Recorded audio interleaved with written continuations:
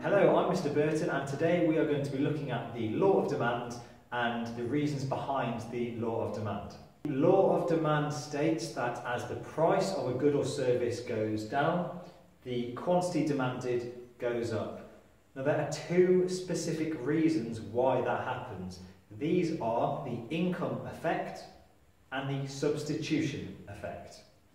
Let's look at the income effect first. Income effect assumes that we have a fixed income as consumers, um, so our incomes aren't changing every day. We have a fixed amount of income. Let's say we have an income of uh, £60. We are only able to buy a certain amount of goods or services. So in this case, we're looking at the demand for cola. Um, with my income at £60, I am able, therefore, to buy 10 bottles of cola when the price is £6. pounds. Okay, because I have 60 pounds uh, as my income, and therefore, if the price is £6, pounds, I'm able to buy uh, 10 cans of cola, and we assume I'm also willing to buy those cans as well. As the price goes up from £6 to £8, I'm no longer able to buy the 10 cans of cola I was before because I cannot afford to because I only have £60 of income. Therefore, my demand has to reduce to around 7 cans.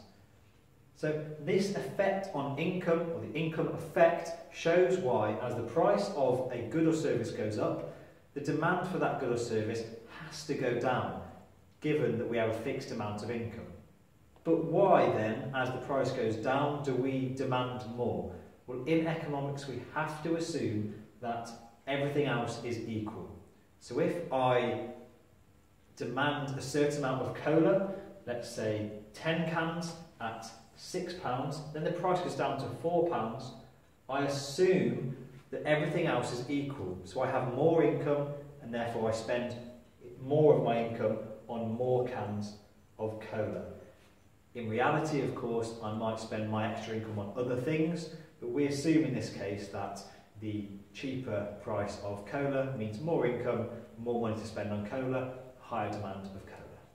The other reason for the law of demand is the substitution effect.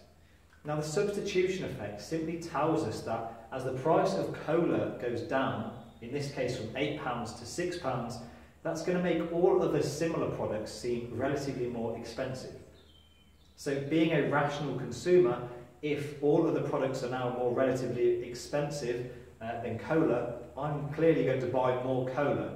I'm going to go into the supermarket, see that cola has dropped in price and that all of the similar products are assumed to stay the same price, uh, and I'm going to therefore buy more cola in, and put it into my basket. Uh, and so that shows us that if the price of a good falls and every other similar good stays the same in their price, uh, ceteris paribus happens, then we're going to demand more of that product that has dropped in price. So we have now seen why the law of demand is true, why demand is downward sloping, and that's because of both the income effect and the substitution effect. These two concepts are really important to remember when thinking about the downward sloping demand curve and the reasons behind the law of demand. Hope you enjoyed the video. Please like and subscribe below and comment for any of the topics you want me to cover in my next videos.